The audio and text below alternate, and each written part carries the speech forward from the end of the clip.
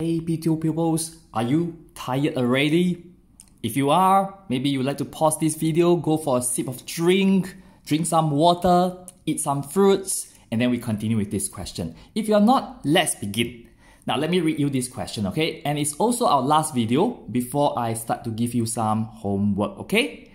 Your parents will come here to collect the homework very, very soon. Now, let me read you this question. Sally has four bags of apples. Each bag has three apples. How many apples are there? Oh, four bags. Okay, let's draw four bags. Remember, draw four boxes. Okay, so teacher Patrick will draw the four boxes. Very huge. So please draw your four boxes very huge. Okay. Big boxes, huge ones. Okay. There you go. We have four big boxes ready. Now, for four box, each box represent one bag. One bag, two bag, three bag, four bag.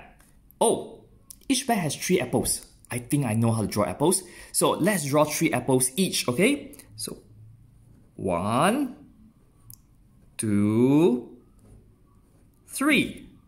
Hey, I know how to draw apples. Do you know how to draw that? Three. Okay, let's continue. Three. Okay, and finally the last box, the last bag, I'm going to draw three more apples.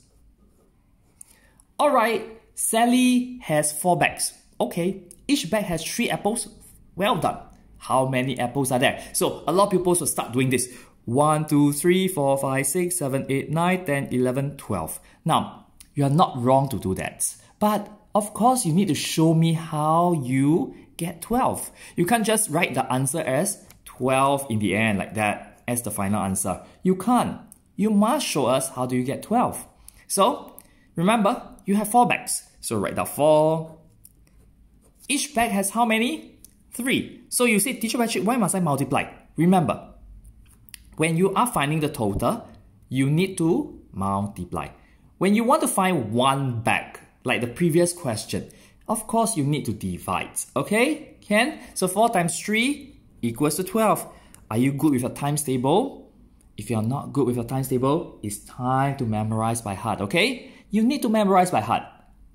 Alright, this is our last video. I hope to see you really soon for the next set of revision. Bye!